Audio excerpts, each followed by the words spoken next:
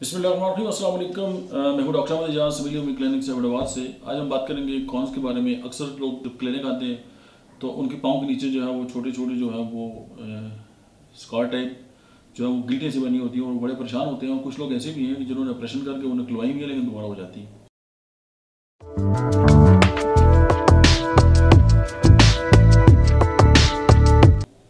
آج میں آپ کے سامنے اوپیتھی کی چند ادویات جو ہے وہ رکھتا ہوں آپ یہ جو ہے وہ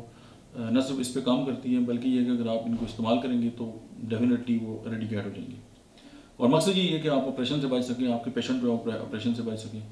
اور آپ اپنے جو ارد گرد کے لوگ ہیں، ان کی جو لائف ہے، اس کے اندر ویلیو جو ہے، وہ ایڈ کر سکیں۔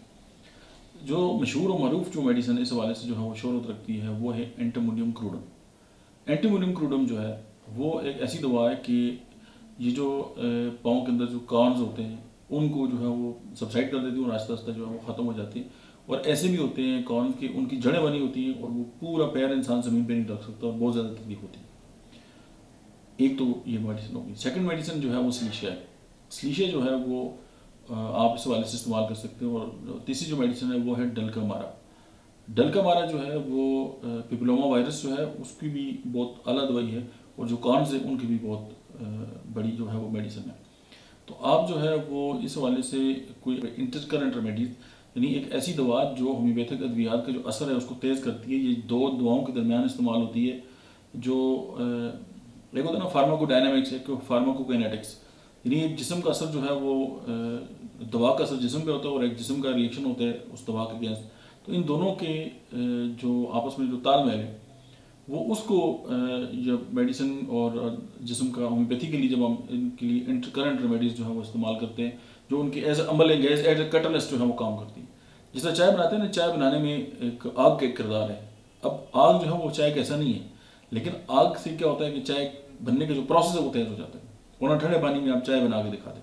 اسی طرح کچھ ادویات ایسی ہوتی ہیں جو پہلے اور بعد والی ادویات جو ہیں ان کے درمیان ایک برج کا کام کرتی ہے اور وہ ایک ان کا جو عمل ہے اس کو تیز کرتی ہے ان کو ہم انٹرکرنٹ ریمیڈیز کہتے ہیں۔ اور ان کا جو کام ہے وہ اس جو شفا کا عمل ہے اس کو تیز کرنا بھی ہوتا ہے۔ سم ٹائم وہ اینٹی جو ہیں وہ میسمیٹک ہوتی ہیں اور سم ٹائم جو ہے کہ ہم جو کانسٹیٹیوشن ریمیڈیز ہے ان کو استعمال کرتے ہیں۔ ہومیوپیتھی بہت بڑا فن ہے اور یہ اتنا آسان نہیں ہے کہ سم ٹائم لوگ ہی سمجھتے ہیں کہ جی کوئی ویڈیو اگر دیکھ لی اور اس کے مطابق انہوں نے کوئی چیز عمل کر لیا اور ان کی جو کرانک سے کرانک جو ڈیزیز ہے وہ ختم ہو جاتی ہے نو ڈاؤٹ کہ ہومیوپیتھی بہت زیادہ ہیلپ کرتی ہے، لیکن کوئی بھی دوا جو ہے اگر استعمال کرنی ہے تو ہومیوپیتھک ڈاکٹر کی زیر نگرانی ضرور کریں یہ بہت ایک امپورٹنٹ فیکٹر ہے۔ چونکہ سیلف میڈیکیشن بہرحال اچھی چیز نہیں ہے۔ اینٹیمونیم کروڈ سلیشیا اینڈ ڈلکمارا یہ تینوں دیات جو ہیں وہ آپ الگ الگ استعمال کر سکتے ہیں، تینوں ملا کے بھی جو ہے استعمال کر سکتے ہیں۔ تو آپ کے جو پاؤں پاؤں ہیں یا آپ ہاتھ ہیں وہ گٹھے سے جو پڑ جاتے ہیں، وہ جو ہے وہ سبسائڈ ہو جائیں گے اور ختم ہو جائیں گے۔ میرا ایکسپیرینس یہ ہے کہ ایل ایم پوٹینسی اگر آپ اس میں استعمال کرتے ہیں اور ایل ایم ٹین اگر آپ استعمال کریں ڈھائی لیٹر پانی میں، یا ڈیڑھ لیٹر پانی کی باٹل لے کے اس میں جو ہے وہ اس کی ایک جو ہے